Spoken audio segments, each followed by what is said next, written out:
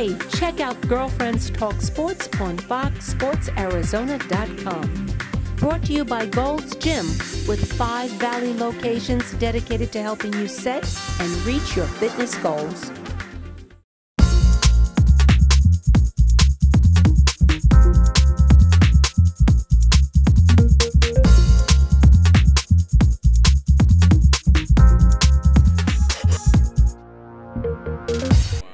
I've been watching you on the other end, and I know no one has said this, but you got into a couple of scuffles there with my son a couple of times, didn't you?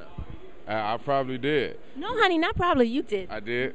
So, okay, you asking me that is supposed to do. No, so let me say, so how does it feel now that you're on the same team? Does it like, Oh, it's great. I mean, the, the competitive nature comes out on the basketball court, and um, you know, neither one of us was going to back down from whatever the case was. But I actually forgot about it until you just brought it up. But Oh, I you mean, see that?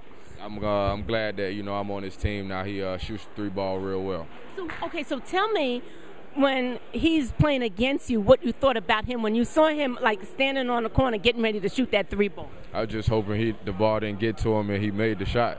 You know, when I was on the other end, but now I'm hoping the ball gets to him and he makes every shot. You are a pretty darn tough player. I appreciate it. It's from my upbringing. Where's your upbringing? You sound like you're from the South. Yeah, I'm, I'm from Chicago. Maywood, yeah. So I got I got a lot of family in the South though. Do you have a lot of family here in Phoenix?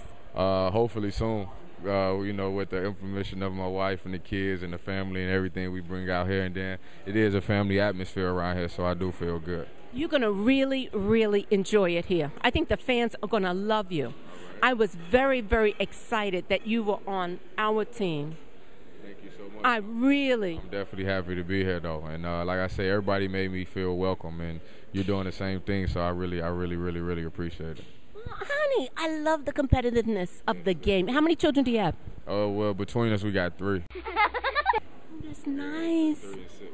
So, So. so tell me, boy, girl, boy, girl. All boys. Oh no, you're kidding. You got a little team. Yeah, I'm trying to stay young without aging them at the same time. But yeah, we definitely squeeze out a couple more. We could we could play against the Suns in practice or something. Wants a couple of more kids. You want a couple? More? I mean, if that's if that's how it happens, I don't mind it at all. I know, honey. You go for it. Six boys. You got your team. yeah,